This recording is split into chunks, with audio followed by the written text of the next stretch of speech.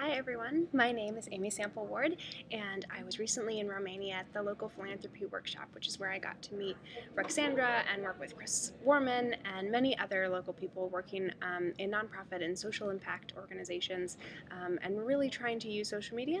And because of that Ruxandra has asked me to send a little message to you all and I really wish that I could be at the Black Sea Forum with you um, in person and get to actually get together and work on um, what you're working on together.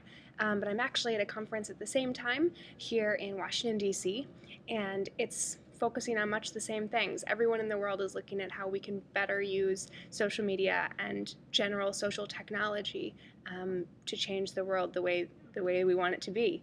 Um, so I can't be there in person, but I did want to send a quick message just to say that what you're doing is important and using technology and social media, whether it's something really big like Facebook or it's a local network or it's a local website even, is just going to help what you're doing be even more impactful and reach more people and let them engage with you in a more human, real, sustainable way. Um, and there are tools out there that lots of people use, like Facebook. But just because a lot of people use it doesn't mean it's necessarily always the right tool for you.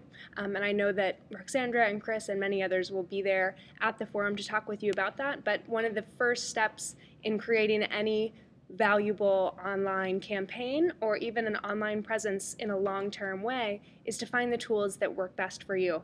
Um, and there's a website called Social by Social Com, and it has lots of resources to help you. Um, Chris has just launched the local philanthropy workshops um, blog and resource, and it has a lot of places to, to help you and things to point you in the right direction.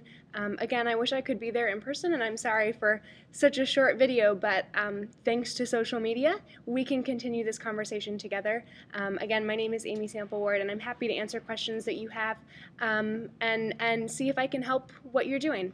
Thanks again to Ruxandra, and have a great forum. Bye.